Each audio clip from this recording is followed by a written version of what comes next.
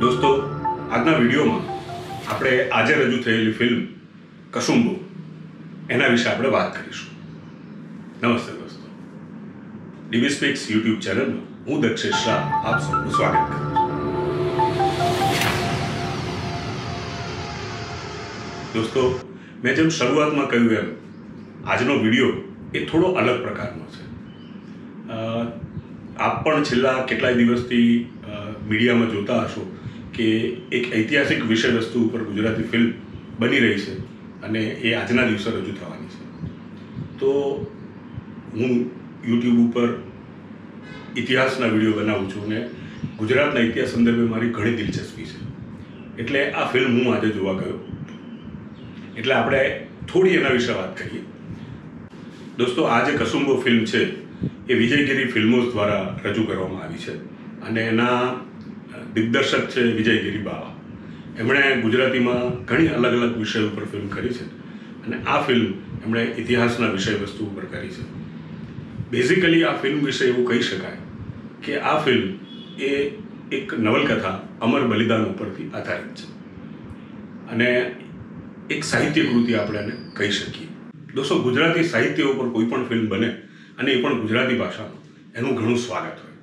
કારણ કે ગુજરાતી ભાષામાં અનેક સાહિત્ય કૃતિઓ છે, જેની ઉપર તાજેતરમાં એવું કોઈ કામ થયું નથી. અન્ય ભાષાને પ્રાદેશિક ફિલ્મો જુઓ, તો એ લોકો એમની પોતાની જે સાહિત્ય કૃતિઓ છે, એની પર કામ કરે છે. તો આ માટે કસુંબો ફિલ્મના નિર્માતા અને દિગ્દર્શકને ઘણા ધન્યવાદ કે એમણે એક સાહિત્ય કૃતિ ઉપર ફિલ્મ બનાવી. આ ફિલ્મની વિષય વસ્તુ હું તમને વિશેષ બહુ છણાવટથી નહીં કહું કારણ કે તો આ ફિલ્મની જોવાની તમને મજા મળી જશે. પણ આ ફિલ્મ એક એવા સમયના વાત કે છે, જે સમયમાં અલાઉદ્દીન ખિલજીએ ભારતમાં પોતાનું શાસન મજબૂત કરવા માટે, પોતાનું સામ્રાજ્ય વિસ્તારવા માટે ગુજરાતમાં જુદા જુદા વિસ્તારો ઉપર હુમલા કર્યા હતા. તમે મારો જે છેલ્લો વીડિયો છે એ જોયો હોય, તો આપણે લગભગ આ જ વાત કરી હતી કે કઈ રીતે ગુજરાતના છેલ્લા હિન્દુ રાજવી કર્ણદેવ વાઘેલા કઈ રીતે તેમનું શાસનનો અંત આવ્યો અને એમનો પણ કઈ રીતે અંત આવ્યો? એ વિશે જો તમારે જોવું હોય તો મારો છેલ્લો વીડિયો તમે જોઈ શકો છો. આ ફિલ્મને માટે એવું કહી શકાય કે આ ફિલ્મમાં કલાકારોએ સરસ કામ કર્યું છે. ખાસ કરીને પ્રોડક્શન વિભાગ જે કહેવાય કે જેણે આ ફિલ્મ પ્રોડ્યુસ કરી, એ લોકોએ એક ગામડાનો સેટ ઊભો કર્યો અને ત્યાં આ ફિલ્મને એમણે આકાર આપ્યો. અને જે ફિલ્મનું આખું જે ટેકનિકલ પાસું છે? કે ફિલ્મનું કેમેરા વર્ક તમે જોઈ લો, કે ફિલ્મનું એડિટિંગ જોઈ લો, કે ફિલ્મનું સંગીત જોઈ લો. આ સૌથી મજબૂત પાસું મને એવું લાગે છે કે આ ફિલ્મનું એ સંકલન એટલે કે એડિટિંગ છે. ત્યારબાદ કેમેરા વર્કની વાત આવે અને સંગીત પણ નબળું પાસું નથી. એટલે ઓવરઓલ તમે જુઓ તો આ એક ગુજરાતી ફિલ્મ એવી છે કે જે ઘરના લોકો સાથે બેસીને જોઈ શકે.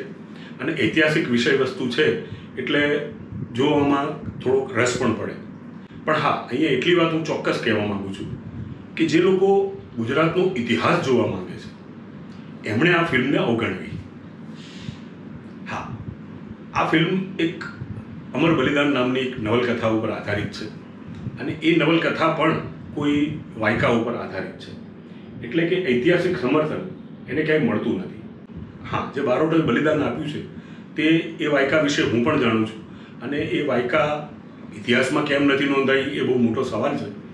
પણ હું એટલું કહી શકું કે જો આપ ગુજરાતનો ઇતિહાસ જાણવા માટે આ ફિલ્મ જોતા હો, તો આ ફિલ્મને અને ગુજરાતના ઇતિહાસને ખાસું લાંબુ અંતર છે.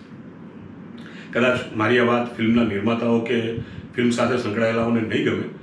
પરંતુ દોસ્તો, હું ઇતિહાસ રજૂ કરું છું. મારી ચેનલમાં મારો સતત પ્રયત્ન એવો હોય છે કે હું ઐતિહાસિક વિષય વસ્તુ રજૂ કરું. વાયકાઓને હું મોટાભાગે અવગણું છું. કારણ કે વાયકાઓ જે હોય છે, એનો ઐતિહાસિક આધાર નથી હોતો. આ ફિલ્મમાં એવું વર્ણવ્યું છે કે અલાઉદ્દીન ખિલજીએ પાલિતાણા પોતે આવ્યો અને ત્યાં એણે પાલિતાણા મંદિરની મુલાકાત લીધી. આ જે વાત છે, એ ઇતિહાસમાં ક્યાંય નોંધાયેલી નથી. એકચ્યુઅલી એવું છે કે અલ્લાઉદ્દીન ખિલજી ક્યારેય માળવાથી આગળ ક્યાંય ગયો જ નથી. અલાઉદ્દીન ખિલજીએ હંમેશા એનું સૈન્ય મોકલીને જ આખા ભારતમાં પોતાની આણ વર્તાવી છે. તમે જુઓ કે જ્યારે અલ્લાઉદ્દીન ખિલજીએ સૈન્ય મોકલ્યું ત્યારે અ, ખાનનું નામ કંઈક બીજું હોઈ શકે. પણ મેં જે ઇતિહાસમાં રેફર કર્યું છે ત્યાં નામ એનું ઉલુગ ખાન છે. તો ઉલુગ ખાને પાટણ ઉપર હુમલો કર્યો અને પાટણમાં એણે હુમલો કરી લૂંટફાટ મચાવી કારણ કે કરણ વાઘેલા હતા એ ત્યાંથી જતા રહ્યા હતા. એટલે એનો ખુલ્લો દોર મળ્યો. ત્યારબાદ એણે અ, ખાને આશાવલ એટલે કે આજનું જે અમદાવાદ છે એનો જે ભૂતકાળનું શહેર હતું આશાવલ એની ઉપર એણે હુમલો કર્યો. ત્યારબાદ એણે આ ઉના દીવ થઈ અને સોમનાથ મંદિર ઉપર એણે ચડાઈ કરી અને સોમનાથ મંદિર એણે લૂંટ્યું.